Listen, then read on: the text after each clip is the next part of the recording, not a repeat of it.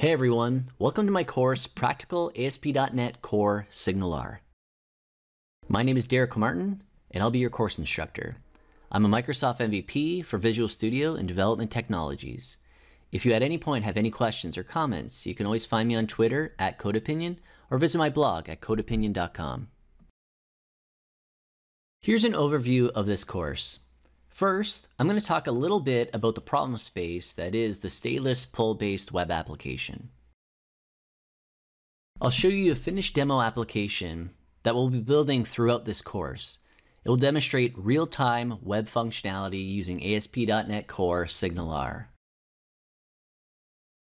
You will learn how to create SignalR hubs in ASP.NET Core.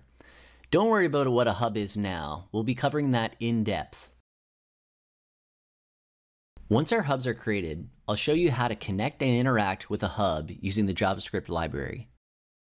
Lastly, I will show you how to scale your SignalR application to handle more load and traffic by using Redis or Azure SignalR service.